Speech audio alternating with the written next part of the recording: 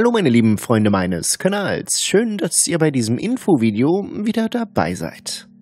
Heute geht es um das Thema Bande wegen Betruges in Millionenhöhe unter Verdacht. Sie sollen ihre Opfer dazu gebracht haben, in Kryptowährungen zu investieren und das Geld im Ausland gewaschen haben. Also die bekannte Betrugsmasche, die wir hier permanent auf diesem Kanal in den Telefonaten hören. Die Staatsanwaltschaft Stuttgart und das Landeskriminalamt ermitteln gegen eine Gruppe wegen Anlagebetrugs in Millionenhöhe. Die Staatsanwaltschaft Stuttgart und das Landeskriminalamt ermitteln mit internationaler Unterstützung gegen eine Tätergruppe. Der Vorwurf Anlagebetrug in Millionenhöhe. Einer gemeinsamen Mitteilung mit Europol zufolge sollen die 17 Beschuldigten den Betrug vor allem von Serbien, Bulgarien und Zypern aus begangen haben. Serbische Strafverfolgungsbehörden unterstützen die Ermittlungen. Der Schaden beträgt weit mehr als eine Million Euro.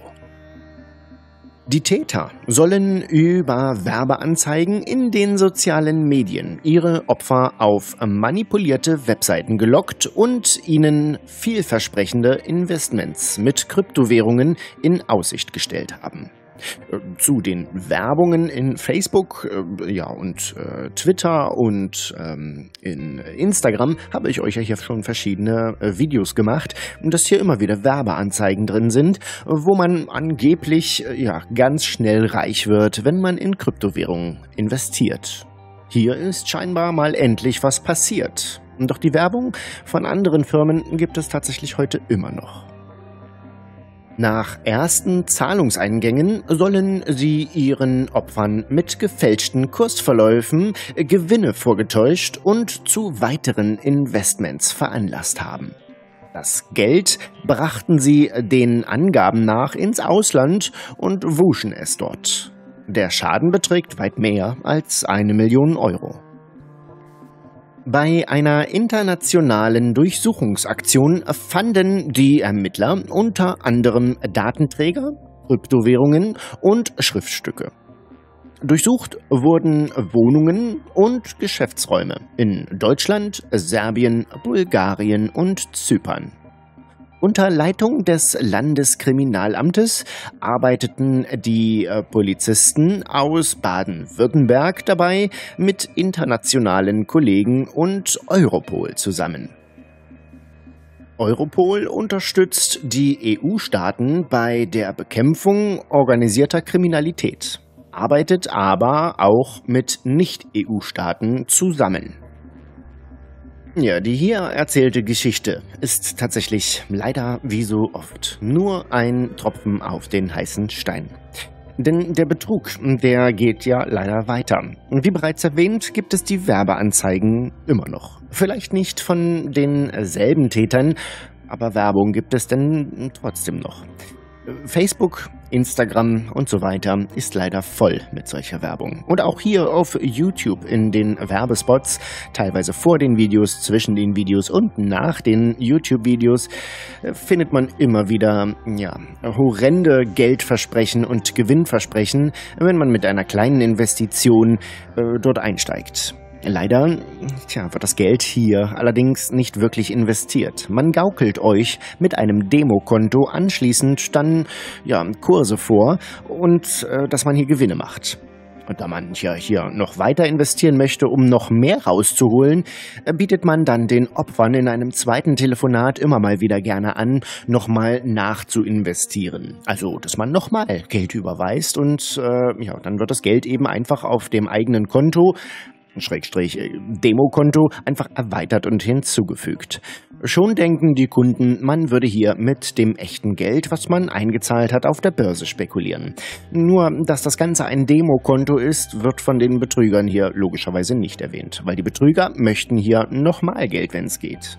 Ist der Betrug erstmal gelaufen und die Firma nicht mehr erreichbar, das heißt, die Webseite ist offline, Dann wird man gerne auch nochmal in einem weiteren Telefonat erneut angerufen, zu einer etwas späteren Zeit. Man lässt hier etwas Gras über die Sache wachsen, äh, bei den Personen, wo man das Geld äh, schon mal bekommen hat.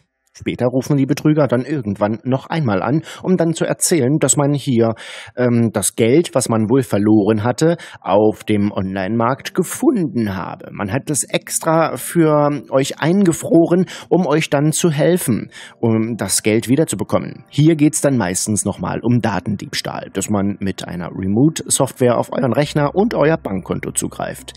Oftmals möchte man dann hier nochmal Geld für eine Transaktionsgebühr im Voraus haben, anfallende Steuern oder irgendwelche angeblichen Gebühren, die sich die Betrüger dann hier spontan ausgedacht haben.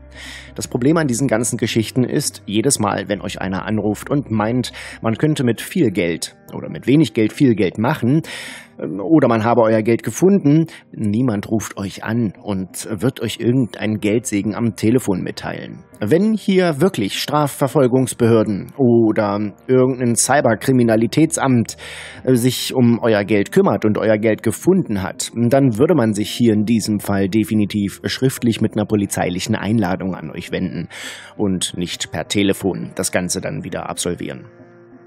Das Problem ist, ist man erstmal auf so eine Firma reingefallen, ist es eigentlich fast aussichtslos, sein Geld jemals wiederzusehen. Es gibt ganz, ganz wenige Erfolgsquoten, wo man das Geld über die Polizei dann doch nochmal zurückbekommen hat. Grundsätzlich sollte eins ganz klar sein. Wurdet ihr betrogen und ihr seid leider auf dieses äh, ja, auf diese Masche reingefallen, dann ja, kann sich ja nur empfehlen, die Polizei zu informieren. Auch wenn man weiß, dass man das Geld nicht mehr wiederbekommt. Denn nur eine Anzeige kann auch dazu führen, dass sich jemand in Bewegung setzt und hier irgendetwas passiert. Die Firmen, die euer Geld hier stehlen möchten, die agieren eigentlich sehr raffiniert. Äh, diese ja, kriminellen Banden bauen Werbewebseiten äh, und Werbeanzeigen, zum Beispiel bei Facebook. Ihr klickt dort drauf. Deutscher Bürger wird mit Höhle der Löwen reich. Man klickt dort drauf. Dann kriegt man wieder irgendeine tolle Story äh, ja, erzählt in Schriftform. Manchmal laufen da irgendwelche Videos mit tollen Kursen, wo man dann mit wenig Investitionen viel Geld machen kann. Hat man sich dort erstmal eingetragen, wird man in der Regel ziemlich schnell von den Betrügern telefonisch kontaktiert. Alles weitere wird hier am Telefon eigentlich mit euch besprochen. Ja, das Problem ist, ihr habt keine Rückruftelefonnummer, wo ihr diese Firma kontaktieren könnt.